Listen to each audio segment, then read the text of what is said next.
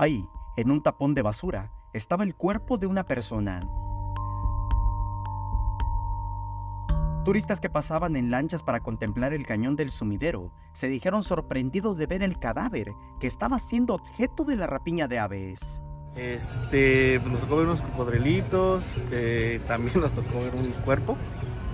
Eh, pues eso ya fue de- en el regreso, de, de hecho cuando pasamos lo vimos, pero no, no estaba seguro. Ya en el regreso puse más atención y sí, resultó ser que sí era. Julio César, que vino a Chiapas en esta temporada vacacional, narró el hecho y dijo que de inmediato reportaron el hallazgo a las autoridades. Pues nada más vimos un cuerpo flotando y un solo pilote en la parte de arriba. Eso fue lo que me llamó mucho la atención porque de, de ida estaba ahí y de regreso seguía igual picoteando el, el cuerpecito.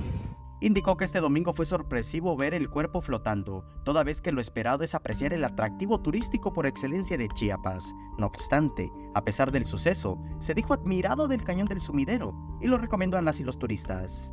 Sí, pues me sacó de onda, ¿verdad? No es normal como que salgas de tu, a dar la vuelta y te topes esto. La Secretaría de Seguridad Pública y Protección Ciudadana confirmó que se trató del cuerpo de un hombre que fue llevado al servicio médico forense para realizar las diligencias de ley.